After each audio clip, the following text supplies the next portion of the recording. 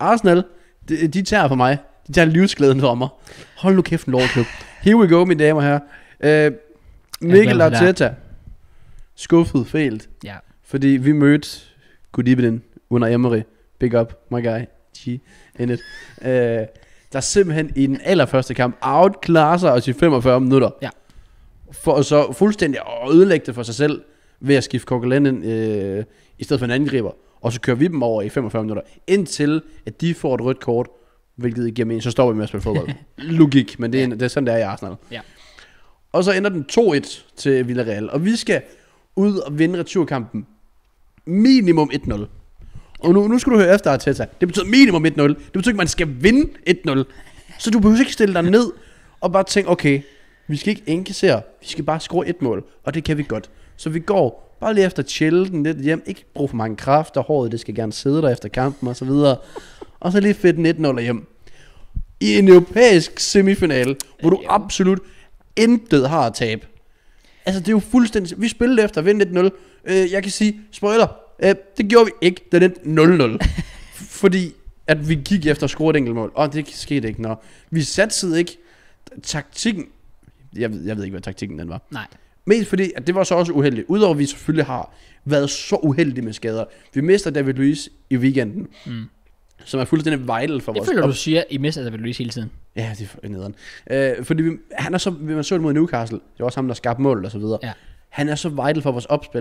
Ja. Han kan lægge de høje bolde op til Bellerin, eller højre bakken, der kan løbe ind over. Han kan lave de der dybde bolde øh, til angriberen eller til bakken. Og så kan han lave, når han går til højre, diagonalerne over til venstre. Ja. Eller faktisk diagonalerne fra venstre til højre. Så dygtig til det. Så han er ikke altid den bedste til at forsvare. I den der kamp, der havde det været ligegyldigt, om du kunne forsvare. Du kunne putte Phil Jones og Mustafi i forsvaret. det vil gøre noget. Vi skal op og score. Og det, det gjorde vi ikke, fordi vi ikke vidste, hvad vi skulle med bolden. Og det værste, der sker, to minutter inden kampen starter, bang, Granit Xhaka er skadet. Åh oh, ja, det, det er Og- fandme uheldigt. Jamen, det er jo bare, det, hele sæsonen har været uheldig. Men, og det, man kan, kan man blive ved med at blame det på uheld, at var uheld, at Peppe giver en skalle, at Xhaka han tager halvskab, uheld, uheld, dumhed, dumhed. Ja. Det her igen, det er uheld. Ja. Og så skal vi spille Thomas Partey på en midtbane med Smith Rowe på Kaio Saka. Nej, Smith Rowe og Ødegaard ved siden af sig. De er aldrig nogensinde spillet sammen før. Var jeres venstreback så? Hvad? Var jeres venstreback? Nå, det var Tierney. Han ja, kom vi, kom, ind. vi satte Tierney ind, som lige havde været skadet i sådan en måned. Ja, så han var heller ikke klar. Og det jeg tænkte, man gjorde, fordi det var at sætte Saka derned, Jeg forstår, og så Martinelli op, og Ja. så Peppe. jeg Og så forstår slet ikke, hvorfor han ikke bare starter med Saka på venstreback. Og hvordan gør det i weekenden? Ja, altså mod Saka. Saka han smadrede West Brom fuldstændig. Hvorfor? Og også bare det der med at bænke Martinelli, efter han blev man of the match mod Newcastle. Ja, og han viser så meget Fem- på mod og så videre. Ja. Det gav ikke nogen mening for Nej. mig, ikke at starte Martinelli. Ikke at bruge Saka dernede, fordi igen, Tierney følte jeg ikke var klar. Og så taktikken med bolden, det var bare sådan... Jeg ved ikke rigtig, hvad den var. Nej. Øh, så, så, og det er jo problemet. Så kigger man tilbage på den der, for eksempel den der semifinale, vi havde mod City, for, der i FA Cup'en sidste år, hvor vi havde den der passing sequence, hvor vi afleverede sådan 20 gange igennem, Ja, ja. indtil PP, diagonal, Auba, mål. Ja. Og, og det der kopimål, som Auba lavede i både Community Shield, men også i en eller anden kamp eller sådan noget. Bare sådan, der var et system, der var et mønster, der var en plan. Mm. Nu er der ikke længere en plan. Overhovedet ikke. Altså, og det synes jeg, at vi skabte jo chancer. Vi rammer stolpe i første halvleg, Ja. og vi rammer, jeg troede den var inde, der er Ja. anden halvleg, der Auba hætter på indersiden af stolpen, med sådan en kvarter igen, der tænkte jeg, den er der. Ja. Og det var på det tidspunkt, så jeg det var fortjent eller ej, det ved jeg sådan set ikke, men jeg tænkte, den var der. Og den var ikke inde, Nej. og det følgende, der skete, der var jeg sådan lidt, okay, et, vi har tabt kampen. Arteta, han har tabt 17. Og jeg Ja. tror også, jeg tror også, jeg har tabt tilliden Uh. Til Arteta. Uh. Ikke fordi jeg er ikke der, hvor jeg er sådan, han skal bare ud, det er bare slut. Okay. Men jeg, jeg, jeg opgav, fordi jeg vidste, hvad status ville være. Ja. Efter at have skabt den største chance i hele kampen, og Aubameyang hænder på stolpen, så piller han ham ud. Med et kvarter Ja. igen i den europæiske semifinal, vi mangler et mål, Ja. så tager du manden, som er et top 5 angriber de seneste 10 år, der har lavet 20 mål i alle sæsoner, eller sådan noget, eller de sidste 5 år, eller sådan noget. Ja. Han har lavet 20 mål i alle sæsoner. Ud af den her sæson selvfølgelig. Men han har lavet 10 mål de sidste 13 kampe, han har startet. Ja. Hænder på indersiden af stolpen. Begynder lige at vise takter. Skulle lige spille sig varm. Så piller du ham ud. Ja. Og så smider du hvad? En Ketia ind. Du Ja. smider vel også Willian ind, sikkert. Ja, præcis. Og jeg var bare sådan, af hvad? Det gav nu? ingen mening Nej. overhovedet. Og der var sådan lidt, så har han jo bare Så han er, man- man, ønsker, at det skal virke, ligesom man ønskede det med Lampard, men fakt er bare, på det, det tidspunkt, der tænkte jeg, at den her opgave, den er for stor til dig. Det tror jeg også. Fordi han følte sig nødsaget til at køre en for en, Ja. i stedet for at smide en defensiv ud, en offensiv ind, og spad, brede spillet ud, eller sådan noget. Jeg forstår det, det, det giver ikke virkelig mening. heller ikke. Og ved du, hvad der passer mig af, det er, at jeg faktisk, altså, ikke, ikke nok med, at, at Aubameyang lige har været på at score, så det er ikke engang så meget det, men jeg, selv hvis Aubameyang nærmest havde været anonym hele kampen, Hvilket han havde. selv der synes jeg, at det er voldsomt at pille ham ud, fordi det er ligegyldigt, hvor shit din angriber er. I det mindste har du en angriber. I det mindste har du en, du ved, han kan altid, hvis det er chancen gælder. Ja. Altså, hvem vil du helst have til at afslutte en ved en, en Ketchia eller Aubameyang? Det er fucking, altså, det er no-brainer. Så det er også bare vildt, at, at jamen, man jagter et mål, og så vælger du at lave en offensiv indskiftning, men du skifter en til en. I stedet for at sige, at vi piller lige en midtbanespiller, vi piller en forsvarsspiller ud, vi skifter systemet, så vil du legit bare sige, at vi piller lige Aubameyang ud og smider en Ketchia ind. Altså, åh. Jeg synes, det viste... Fucking hell. Det, det, gav, det, jeg synes ikke, det, jeg ved ikke, hvad det viste. Det viste ikke en skid. Jeg synes måske bare, at det gik op for mig sådan... Jeg ønsker stadig, at Arteta er løsningen. Ja. Fordi jeg bliver ved med at se på os. Og det er måske der, den, den går forkert. Fordi det var modsat Chelsea. Jeg ser ikke os selv som den store klub, som resten af fanbasen gør. Okay. Så derfor så tænker jeg, at vi kan godt køre på Arteta og acceptere øh, middelmodighed Ja. lidt tid endnu, og tænke, det virker i fremtiden, fordi Okay. han har filosofierne, han har idéerne. Mm.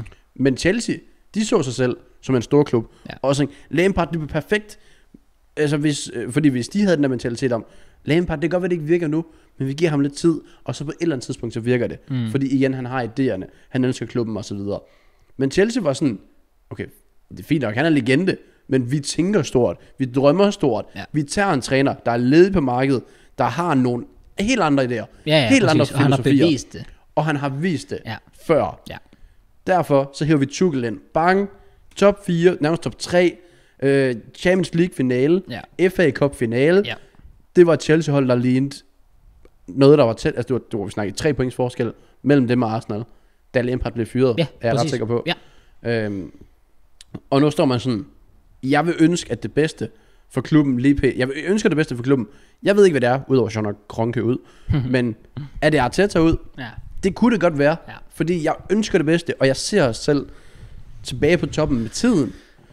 Og der, der tror jeg måske, at Arteta han er løsningen. Men det ved Ja. jeg ikke, og han har ikke bevist det. Nej. Og det har Lampard heller ikke. Nej. Og det er også derfor, jeg må sådan lidt, skal man så ikke bare finde en, der har bevist det? Så er jeg ligeglad om Allegri, han kan snakke engelsk. Det kan han fandme lære. Altså, det, jeg kunne godt tænke mig noget, noget tryghed. Emery gav ikke, altså Emery havde fejlet i PSG. Mm. Det eneste sted, jeg stoler på Emery, det er i Spanien. Der har han Ja, en dygtig træner. han og det viser han. Han viste Ja. det Valencia, han viser det Villarreal. Ja. Han viste det ikke Sevilla. i... Ja, det var, var det ikke? Jeg tror, han i Valencia. Det kan godt være. Men han har også vist Ja, og især i Sevilla Ja, ja, præcis. øh, med tre gange i Europa League. Og øh, ja, han viste det selvfølgelig ikke i, i PSG og så videre. Nej. Og slet ikke i Arsenal. Nej. Så bare sådan, ja, vi kunne, vi kunne gå ud og så finde noget, der giver noget. Noget helt andet. Altså det er måske det er fuldstændig defensivt i form af Allegri, men det er en tryghed, og du ved, det er en vinder. Øh, og hvad der 100% ellers er til rådighed, Ja, det ved jeg sådan set ikke. Men jeg, jeg er reelt set åben for det meste. Og skulle Arteta blive, så er jeg også åben for det. Ja. Men jeg, hvis jeg blev spurgt lige nu, Allegri ind, Arteta ud, så vil jeg tage det. Fordi at Damn. jeg bliver nødt til at tænke, vi er sgu en større klub Okay. end en 9'er, 8'er, 10'er i Premier League. Fordi det er vi. Og hvis ja, det er det Arteta, er- han kan give ja. os, så er det ikke godt nok. Nej. Så kan jeg ikke leve med, at vi ender 10'er nu, og ender 8'er næste år, og ender 7'er året efter. Jeg vil, jeg vil springe fra 7 til 4, eller Ja. nej, hvad hedder det, for, hvad ligger vi, 9 til 4. Ja. Det vil jeg. Køb ind til sommer, top 4. Det, jeg kan ikke, jeg kan ikke give, det håbede jeg, jeg kunne, jeg kan ikke give det der 3-4 år, som jeg Nej. håbede, jeg kunne. Og det kan I vel heller ikke, fordi... Fordi vi bliver ved med at komme efter. Ja, men også, også bare fordi, at, at det har været så lang tid nu, det har stået på med Det er en jo det. middelmådighed. Det er jo det. Hvis man for eksempel i Chelsea har sagt, okay, ved du hvad, vi har lige vundet Europa League for et par år siden, vi var i FA Cup-finalen, vi vandt øh, ligaen for nogle år siden. Det er jo ikke fordi, at det i længere tid havde været slemt. Altså, for for eksempel, vi fik top 4 i sæsonen før under Lampard. Så, så der kunne måske godt forstås, at man imens har sagt, okay, lad os give ham den tid. Altså, men i Arsenal er det bare sådan lidt, altså, hvor lang tid går der, før tiden løber ud? Fordi netop når man er Arsenal, som traditionelt er en af de allerstørste klubber i hele verden, så kan du heller ikke leve med ikke at slutte i top 4, altså konsekvent.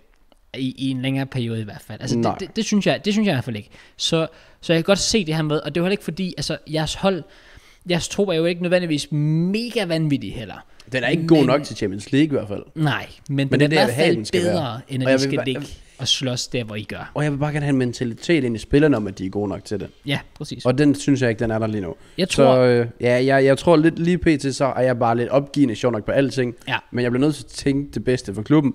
Og, hvis det, og det kunne godt bare være, at jeg tager at ud. Men jeg ved det ikke. nej. Det er jo vildt det hele, da hvis Arteta bliver fyret, så vinder Ole officielt Lampard, Arteta, Ole-debatten. Og det kommer jeg nok aldrig nogensinde til at forstå. Det, det, det er lidt trist, men der må man så også bare give credit til Ole Det er selvfølgelig. det selvfølgelig. Øh, det kan selvfølgelig også godt være, at det vender på lang sigt. Det kan være om 10 år, der er Teta og Lampard fucking laver det dobbelt sammen som double coach i Real Madrid. Okay. Nej. Nej, okay. Nej. Men, men øh, i hvert fald, ja, altså, jeg, jeg er 100% enig. Altså, jeg ved godt, at forventningerne måske er lidt anderledes, og måske skal Arsenal-fans også bare indse det.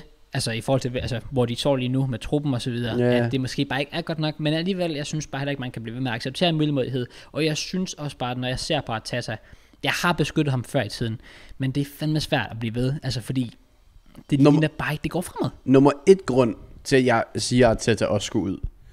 Jeg ved ikke, om det er en, en kontraktlig ting. William.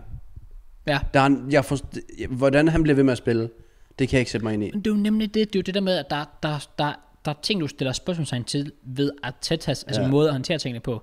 Og der har også synes, været de her andre historier. Altså det har virkelig været et shit show, bare sådan lige over. Det har, og det har selvfølgelig heller ikke været nemt med corona, og der er ikke tilskuere, og der har ikke været preseason, og så er der Matteo Gunduzi, så er der Mesut Özil, så Mustafi Kolarsen, ikke alt det her Ja. krig og kaos. Så, Så bliver der rodet op i det. Men ja, også det for den sags skyld. Ja. Så, så ja, med andre ord, så glæder jeg mig til at se, at de smadrer os på onsdag. åh oh, ja, great. Ja. ja, klart. Jeg er spændt på, hvad fremtiden bringer. Med eller uden at tage Jeg er der, desværre, kan man næsten sige.